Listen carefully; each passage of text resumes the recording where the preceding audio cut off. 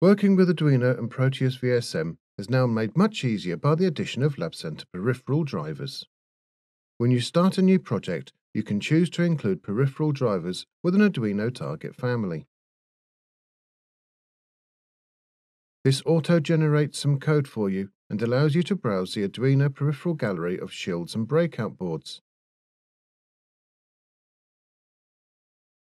As you add peripherals from the gallery, they are auto-placed on the schematic and also added to the project tree in VSM Studio.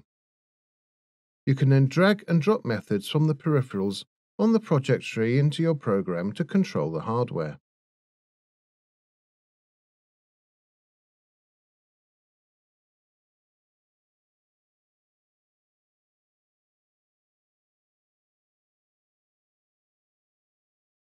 Of course, if you prefer to work without this support, Using the native Arduino drivers, you simply uncheck the box in the new project wizard.